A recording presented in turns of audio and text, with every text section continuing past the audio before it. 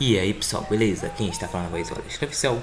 Pessoal, o vídeo de hoje aqui é o seguinte, eu vou colocar aqui em ordem o melhor jogo de cada gênero.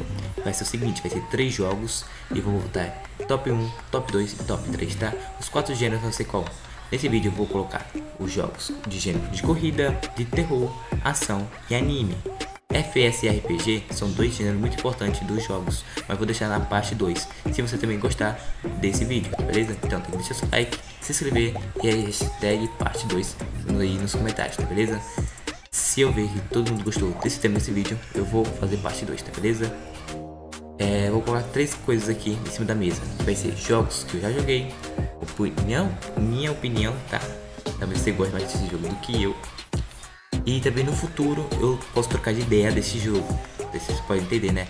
No futuro talvez eu jogue outros jogos eu posso mudar essa lista, tá beleza? Eu posso atualizar essa lista, beleza?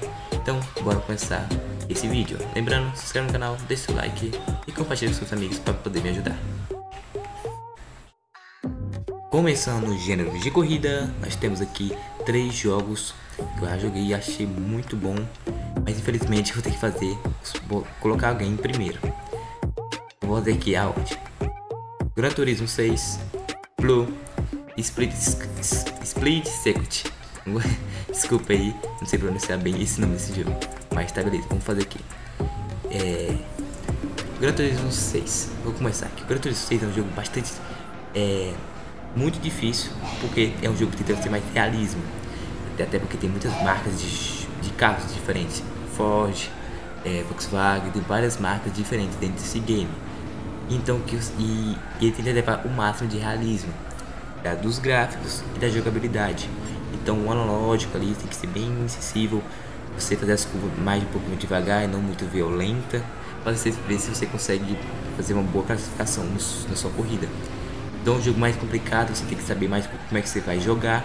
Então nessa, por causa desses motivos que eu também não sou muito bom, eu vou deixar o Gran Turismo em terceiro lugar, tá beleza? Agora vamos pro Blue. Blue é um jogo bastante divertido porque você tem poderes nas corridas como é, nitro, escudo e o famoso bola de fogo. Você pode tacar bola de fogo nos seus inimigos. Isso é bastante divertido, esse jogo mais frenético, com mais ação e você é, pode correr a milhão nas curvas, nas retas, que não vai dar nada. É um jogo bastante divertido, mas vai ficar em segundo lugar, porque o Split Circuit ele me chama muito mais atenção, porque tem esses fatos e mais um pouco. Quais são esses fatos que acrescenta para o Split ficar em primeiro? E a dificuldade eu acho um pouco mais difícil do que o Blue e também os seus gráficos. Sim, pessoal, eu vou botar os gráficos em questão, que eu acho um pouco importante a questão dos gráficos. E eu acho que o Split é um pouco melhorzinho nos gráficos, tá beleza? E a jogabilidade também do Split eu acho um pouco melhor também. E a dificuldade é muito boa para o jogo não ficar muito fácil, né? Para não ficar muito fácil. O jogo muito fácil também é um pouco sem graça. Então, essa odd do Gran Turismo de ficar em terceiro, o Blue em segundo e Split em primeiro, tá para mim ótimo, beleza? Então, bora para a próxima categoria. Agora, nossa categoria de anime. Pessoal, anime. Eu vou botar três jogos aqui que eu joguei do PS3 de anime. Jojo Bizarre, é, J-Star, J-Star vs, J-Star vs, acho que é assim, e Naruto Storm 3. Bora.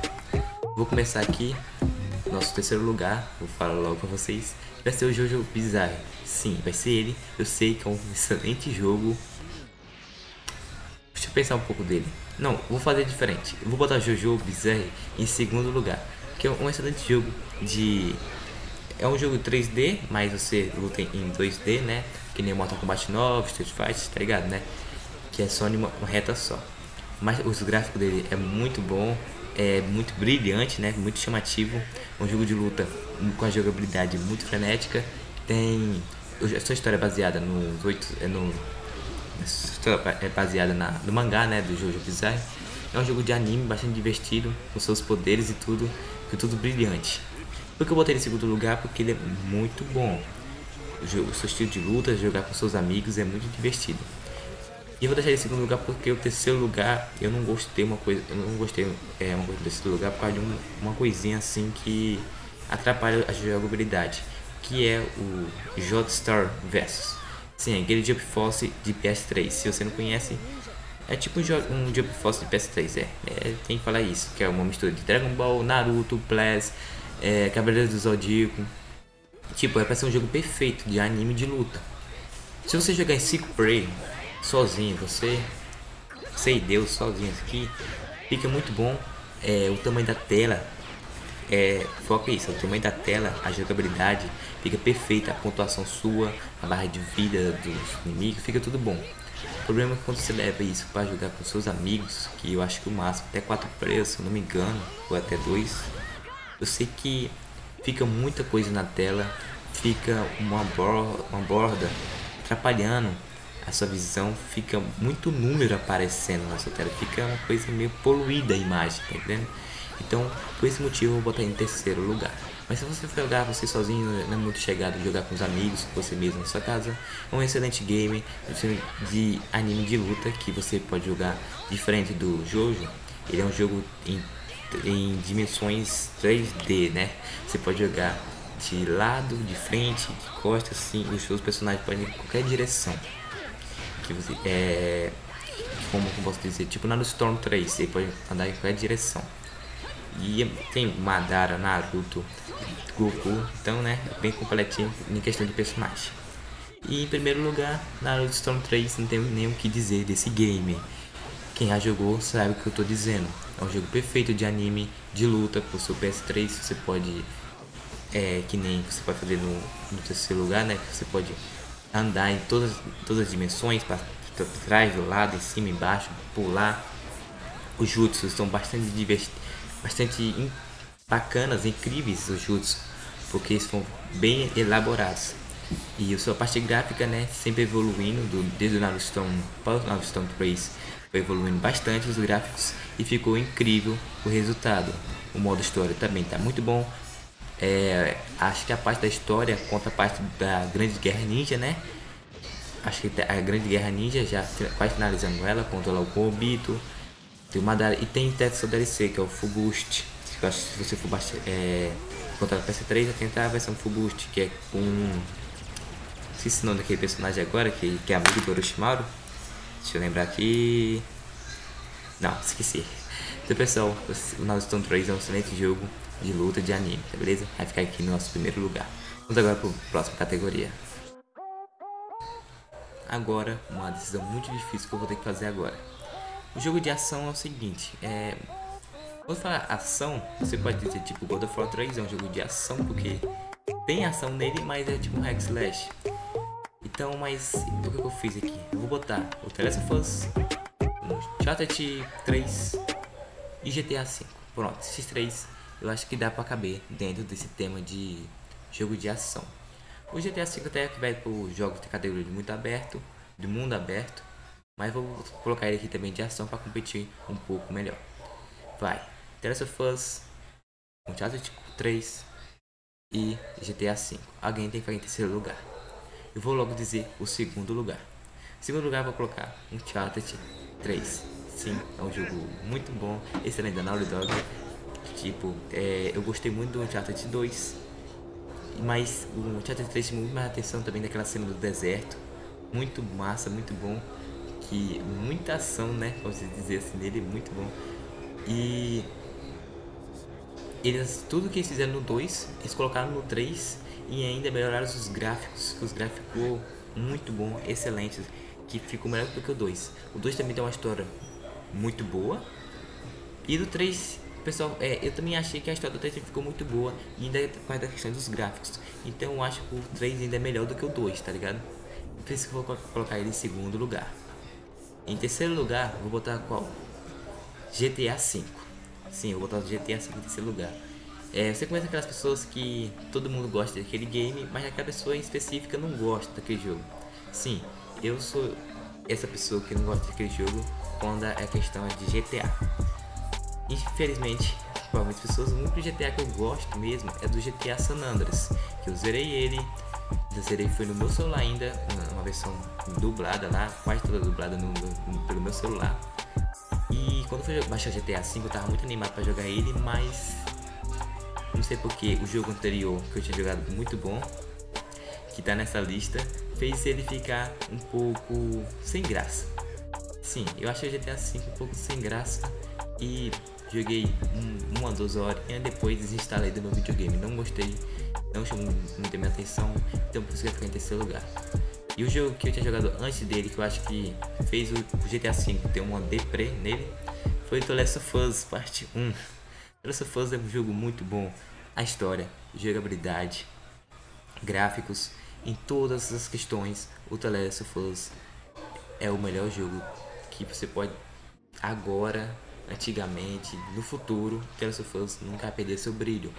A jogabilidade você tem que fazer silêncio, tem que entrar furtivamente para matar os é, infectados, especialmente, especialmente aqueles infectados com mais tempo, que eu esqueci o nome deles agora. É, tem os corredores e os instaladores, sim, os instaladores. Tem que chegar ainda com a faca ainda porque não consegue estrangular os, os instaladores. As questões dos gráficos muito bom. Tem esse remake aqui agora, mas não precisava desse remake, porque está bastante, bastante bonito ainda. O The ainda tem a, a versão remasterizada é, não tem o que muito se dizer, The Last of Us é muito bom. A trilha sonora do The Last of Us, a música que tem no The Last of Us, é, são muito boas também. É, cada ação que acontece por essa força tem uma música específica para isso e combina muito bem para aquela situação. A história também tem o que, que, falar, é uma obra de arte, por isso, por isso que agora está tendo uma série, vai ter uma série em 2023 do The Last of. Se você não está sabendo, na HBO vai ter uma série do The Last of contando a história desse incrível game, dessa incrível obra de arte que é a Last of Us. Tá beleza? Então, bora pro próximo categoria. E se você gostando desse vídeo, se inscreve no canal, deixa seu like.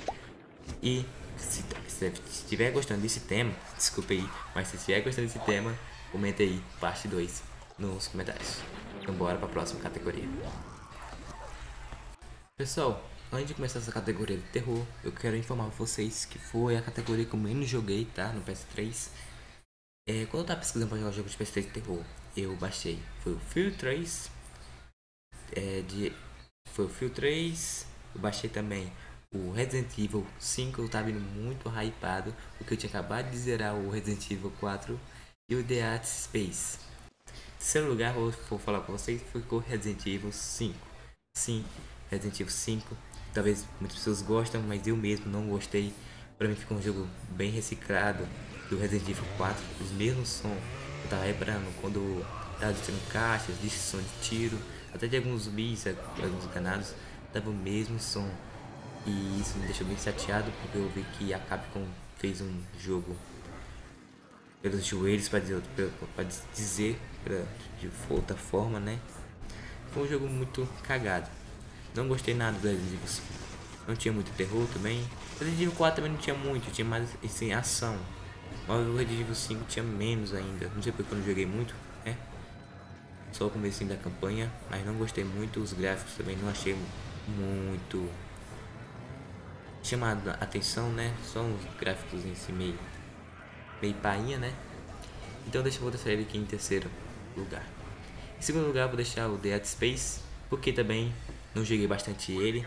Joguei só um pouco dele e eu que eu entendi um pouco sobre a história, que é um engenheiro que desce para viver em uma nave de mineração infestada com um monstro, né? Um, acho que é, Neo, é o Neocromorphos, alguma coisa assim, os monstros lá. São corpos humanos transformados em, e reanimados por um organismo lá dos alienígenas. Esse jogo tipo no espaço lá, e é um... Até agora tá dando um pouco de medo jogar ele. Tem um jogo de terror.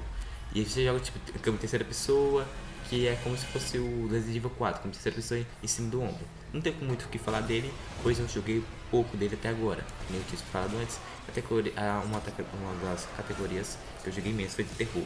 Mas eu gosto um pouco de jogos de terror, eu não gosto de levando muito susto, eu gosto pouco. Se você puder me recomendar mais jogos de terror para PS3, eu agradeço.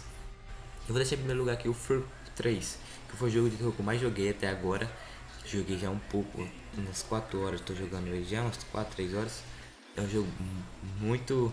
É, eu não sei se eu levei muito susto, porque eu estou jogando com meu primo, tô jogando nós dois ali, divertindo, jogando em co-op.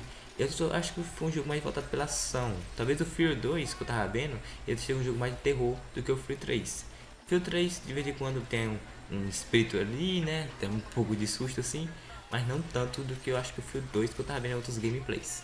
Vou deixar em primeiro lugar porque é um jogo muito bom, que você também é tipo, pode ser considerado também se quiser como FPS, que bem animado, com tiro e tudo, vou deixar esse gameplay de fundo aí pra vocês verem, e é um jogo muito bom. Então, pessoal, esse foi mais um vídeo, se inscreve no canal, deixa o like, se você gostou, aparece nos próximos vídeos aí, para nos ajudar. E sempre estamos voltando de um strike aí, então talvez esse vídeo tenha com poucas visualizações, mesmo assim, o meu maior esforço, meu maior, eu tô botando tudo de mim aqui para tentar é, fazer um vídeo excelente de qualidade para vocês, tá? Agradeço demais a todos vocês que deixam seu like aí e comentem nos comentários que eu leio todos eles. Deixa o coraçãozinho e tudo aí, sempre tentando ajudar vocês. Muito obrigado e, e até a próxima.